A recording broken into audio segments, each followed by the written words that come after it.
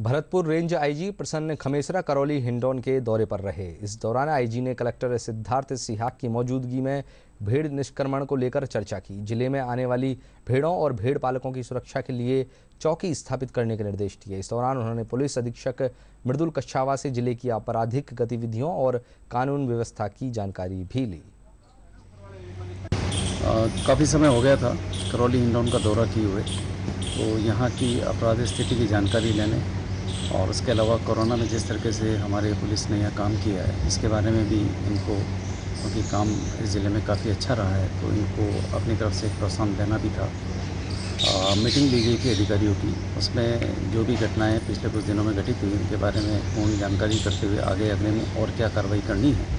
इसके अलावा हिंडौन शहर में चूँकि इंदौर इस ज़िले का एक सबसे महत्वपूर्ण शहर है तो उसमें किस तरीके से बदमाशों की आवागमन को रोका जाए इसके बारे में ज़रूरी निर्देश दिए गए थे।